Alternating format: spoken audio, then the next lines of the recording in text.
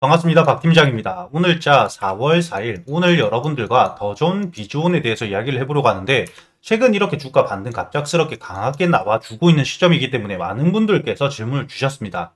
이 앞으로 신고가를 뚫고 올라갈 수 있는지 아니면 이 신고점 부근에서 매도를 해야 되는지 여러분들이 어떻게 대응을 하시면 되는지 확실하게 이야기 드릴 거기 때문에 지금부터 영상 집중 부탁드리겠고요. 본격적으로 영상 들어가기 앞서 이 영상에 좋아요 한 번씩 부탁드리겠습니다. 우선 여러분들이 최근에 이렇게 주가가 상승한 이유에 대해서 알고 가셔야겠죠. 여기 기사를 보시게 된다면 더존비즈온이 인터넷 전문 은행, 카카오뱅크 같은 더존 뱅크를 만들면서 신사업에 대한 진출을 했기 때문에 이에 대한 기대감을 통해서 주가가 지금 강하게 반등을 하고 있다. 거래대금 들어오면서 전 고점을 충분히 뚫어줄 수 있는 이런 상황에 놓여있다 생각을 하셔야 됩니다. 쉽게 말해서 앞으로 여러분들이 이 5만 5천 원 위까지 노려볼 수 있는 상황인데 지금 제가 확실히 이야기 드릴 수 있는 건 앞으로는 정말이지 대응이 중요하다고 생각을 하셔야 됩니다. 제가 이렇게 이야기 드리는 이유를 차트를 조금 길게 보시면 이해가 되실 겁니다. 차트를 조금 길게 보시게 된다면 지금 이 55,000원 이 전 고점이 정말 부담스러운 강한 저항을 받았던 구간이라는 게 여러분들 눈에 보이실 겁니다. 그렇기 때문에 이 강한 저항을 뚫고 올라가기까지 이 55,000원 위에 있는 매물들을 소화해 나가는 데 대해서 시간이 조금 걸릴 수 있기 때문에 이에 대해서 시장 분위기가 어떻게 잡혀가고 앞으로 시장이 더존 뱅크를 어떻게 바라보냐에 따라서 추가적인 수급이 들어오는지 아니면 기간적인 주가 눌림을 가져가는지 이런 부분들에 대해서 여러분들이 확인을 하시면서 대응을 하셔야 된다는 거죠. 하지만 명확하게 지금 확실히 이야기 드릴 수 있는 건 지금 이 재료 자체가 전 고점인 이 5만 5천 원은 충분히 뚫어주고 올라갈 수 있는 강한 재료이기 때문에 시간은 걸리더라도 신고가 만들어갈 수밖에 없다 이렇게 생각을 하셔야 됩니다. 그렇기 때문에 여러분들이 신고가를 만들어가는 과정 속에서 주가가 눌리게 되었을 때 추가 매수를 한다던가 특히 매수 평단가가 높으신 분들 매수 평단가를 낮춰가는 기회로 가지시거나 주가가 눌리지 않은 채로 강하게 돌파했을 때 이 목표가를 어디까지 가져갈 수 있는지 들어오는 수급을 보면서 여러분들이 체크를 하셔야 된다는 거죠. 제가 단순히 이렇게 이야기 드리는 게 절대 아닙니다. 여기 보시게 된다면 이 더 좋은 비조온에 대해서 앞으로 2분기까지 예정 매출뿐만 아니라 인터넷 은행 관련 일정들에 대해서 제가 관계자 통해서 모두 실시간으로 확인을 하고 있고요. 이번 4월 달에 나올 중요 공시에 대해서도 확인을 해두었습니다. 그렇기 때문에 이 더 좋은 비주얼 앞으로 여러분들이 어떻게 대응을 해야 될지 실시간으로 제가 매일같이 유튜브 라이브 방송 키고 8시 반부터 함께 이야기를 드리고 있죠. 그러니까 여러분들이 지금부터는 혼자 고민하실 필요가 절대 없다는 거고요. 이 더 좋은 비주얼 보유하고 계시는 주주님들도 많이 계시기 때문에 여러분들이 유튜브 라이브 방송 들어오셔가지고 저랑도 소통을 하시고 실제로 보유하고 계시는 주주님들과도 소통을 하시면서 마음 편히 대응을 하시라는 거죠. 지금 상단에 보이시는 제 번호 010-8000번에 1904번으로 더존비즈온이라고 문자 보내주시는 분들 한 분도 빠짐없이 제가 이 유튜브 라이브 링크 보내드릴 겁니다. 매일같이 8시 반부터 방송 켜서 여러분들과 이야기 드릴 거기 때문에 언제든지 장 종료 전까지 언제든지 여러분들이 궁금한 게 있으실 때 들어오셔서 물어보시면 되시는 거고요. 자유롭게 이 더 좋은 비주원 주주분들과도 소통을 하시면 되십니다. 그리고 이 보고서를 보시게 된다면 각 증권사별로 세력들의 물량들 추정하는 추정치가 있는데 최근에 이렇게 들어온 수급들에 대해서 올해 초부터 들어왔던 수급에 대해서 아직까지 이탈이 없다는 부분 제가 확실하게 확인을 하고 있기 때문에 여러분들에게 이 수급 이탈이 있을 경우 여러분들에게 매도를 하시라고 알려드릴 수가 있는 겁니다. 이런 수급 이탈에 대해서는 제가 미리 정해두고 이야기를 드릴 수가 없기 때문에 수급 이탈이 나왔을 때 실시간으로 여러분들에게 이야기를 드리겠다는 거고요. 이런 수급에 대해서는 차트를 통해서도 확인이 가능하기 때문에 앞으로 여러분들이 대응이 정말 중요하다고 이야기를 드리는 겁니다. 주가가 올해 초 상승했을 당시에 보시게 된다면 주가가 양봉을 만들었을 때만 이렇게 거래대금이 계속해서 들어온다는 게 확인이 되실 겁니다. 이렇게 주가를 끌어올리면서 들어온 거래 대금이 아직까지 이탈되지 않았다는 증거라고 생각을 하셔야 되고요.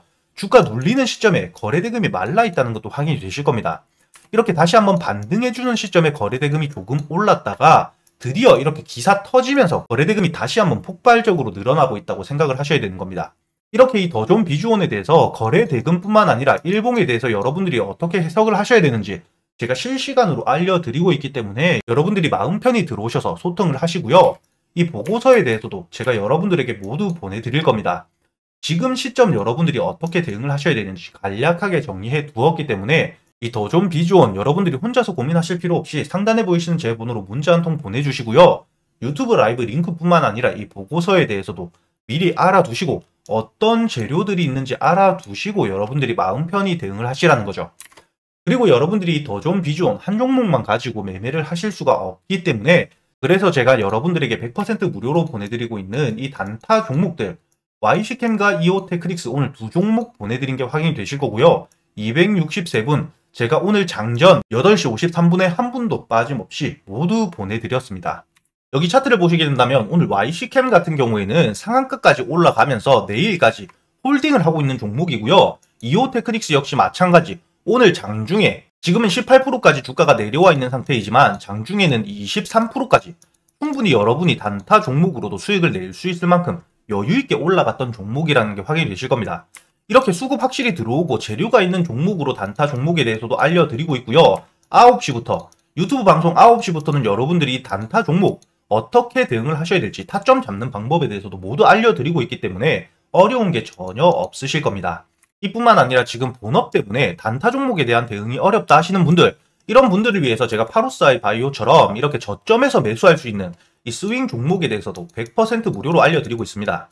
이번에 매수를 준비하고 있는 종목이 올해 세력들 매진 물량 추정치가 최대 물량이고요. 자회사를 통해서 2조대에 달하는 초대형 IPO를 준비하고 있습니다. 이뿐만 아니라 자동차 부품주로서에 대한 신사업 기대감이 상당히 높아지고 있는데 재무제표를 보시게 되더라도 유보율이 13,000%입니다. 이렇게 확보한 현금을 통해서 신사업에 대한 공격적인 투자가 가능하고요. 매출 증가율 역시 작년 대비 200% 넘게 실제로 기업 가치가 올라가고 있는 그런 종목이라는 거죠. 현재 주가 저점에서 자리를 잡아가고 있기 때문에 여러분들이 여유있게 홀딩 하셔가지고 4월 말 5월까지 기사 본격적으로 나오게 된다면 적어도 40% 이상 올라갈 수밖에 없는 이 스윙 종목에 대해서 제가 준비해 두었기 때문에 여러분들이 단타 혹은 스윙 종목, 여러분들 성향에 맞는 종목으로 실제로 여러분들 계좌에 수익을 찍어가는 이 경험을 꼭 놓치지 않고 해보셨으면 좋겠고요. 이 스윙 종목에 대해서도 제가 말로만 드리는 게 아니라 최근에 여러분들에게 수익을 어떻게 내드렸는지 지금 바로 보여드릴 수 있도록 하겠습니다.